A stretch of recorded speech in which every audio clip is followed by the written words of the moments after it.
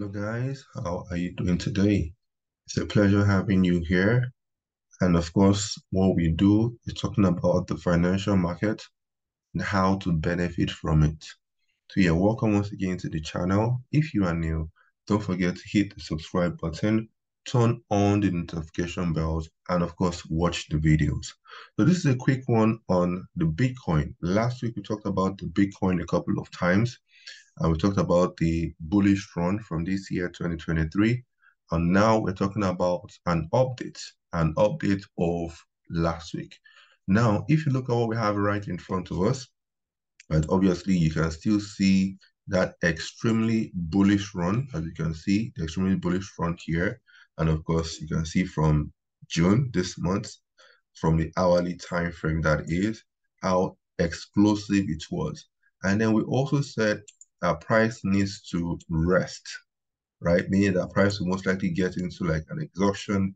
But most times, whenever price moves into a bullish run such as this, you tend to have like a sideways kind of action, and then it could either continue or it could pull back. When it pulls back, it pulls back to an area probably of demand or support before you know the buyers reload and then it pushes higher as well. And that's why something in this manner, you could use the Fibonacci just to gauge the pullback, where it's going to pull back to. But then it could also blast up as well. But in this case, in this scenario, we had something in this manner. And then when it got to this exhaustion phase over here, to this exhaustion phase, being the phase of rest, right? When it got to this area of rest, we now had a head and shoulders pattern where we had the left shoulder here, you had the head, and then you also had the right shoulder.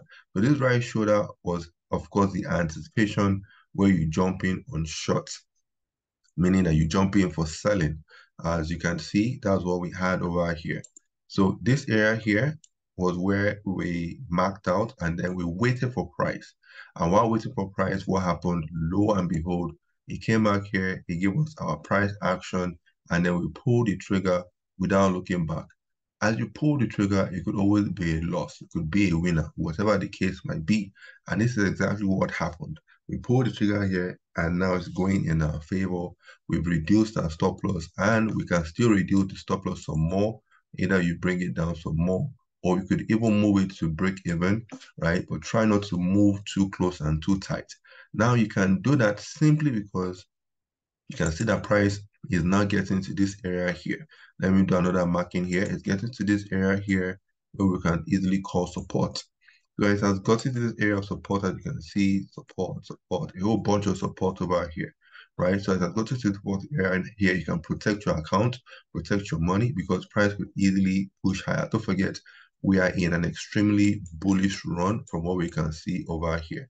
So you could get here and bounce up or you could break out from here, either break out maybe use this place as an area of uh, further resistance and drop down, right? Could even drop down some more, but we're using this area as a what? As a conservative, I repeat, as a conservative take profit. Don't forget, this is a CT trade. This is a counter trend trade. This head and shoulders pattern that we have here is for reverse trading. It's for going against that particular trend. And the trend here was up and we had this here, that means that we're selling. But you don't just sell aggressively. You use patterns, you use candlestick uh, uh, uh, patterns as well, chart patterns to give you your entry. And of course, you always protect your account by using proper stop loss. You calculate your risk, your volume, your lot size appropriately, and so on. Have your rules, have your plan, and then follow them no matter what happens. If you follow your plan and it's a loss, it's a loser, it is still a good trade. If you follow your plan and then it is what? It is a winner, it is a good trade. But if you do not listen to these guys, if you do not follow your plan and it is a winner, that is a bad trade. Let me repeat that. You do not follow your plan, right? And it's a winner. For me, in my book, it's a bad trade, right? So this is just one a quick update on Bitcoin. We'll do more updates on other instruments. Uh, the dollar this week has been a bit um, daily dally has been moving sideways for this week, more or less. But then we're concentrating majorly on the Bitcoin for now. I'm going to be rounding up this video. If you have any question, feel to ask.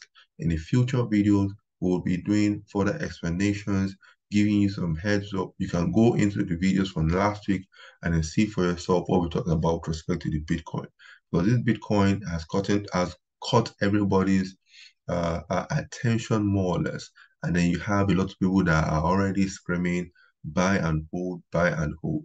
But trust me, on the higher time frames, it has gotten to an area that it might still drop all the way down. But let's see how price plays out, and then we just follow what price is doing. We react to the action of price, price action. Thank you guys for tuning in. Do enjoy the rest of the day. And of course, make sure to protect your account accordingly by using appropriate stop loss and calculating your risk management volume lot size based on your account balance. Have any question, feel free to ask. And don't forget to subscribe to the channel. Thank you guys. Enjoy the rest of the day and goodbye for now. Cheers.